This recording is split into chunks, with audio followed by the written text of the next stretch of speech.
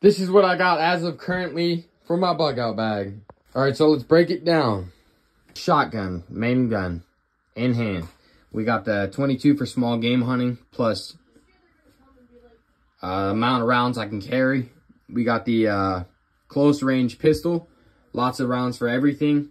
I got a trot line for fishing, gloves, a, a buff tube sock for my face for concealment. I got a multi-tool, a knife, my ghillie suit, binoculars, a tent, first aid kit with everything you could ever need in there, uh, pan for cooking, a road map, got some food, got a flint and steel with a compass, got a flashlight, I got batteries, hand warmers, a poncho, zip ties, screwdrivers, other tools in here.